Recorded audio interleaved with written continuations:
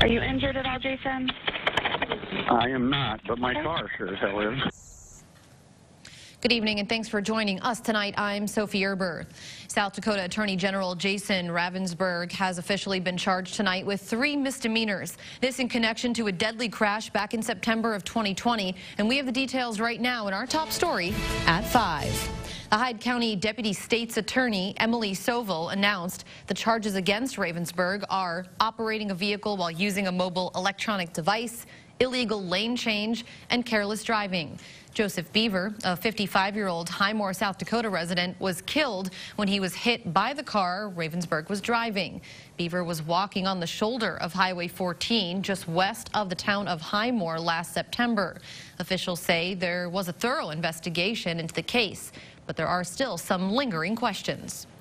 We do not know when Ravnsborg left the lane of travel.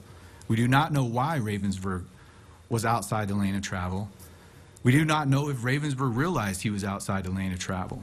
We must provide evidence that would allow a trier of fact to conclude that Ravnsborg was aware of the dangerous nature of his conduct. No such evidence exists.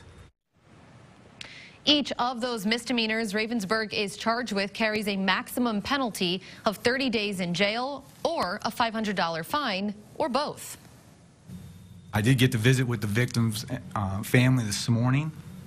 Uh, they obviously don't like our decision in this case, um, but as we all know, that victims don't make that decision.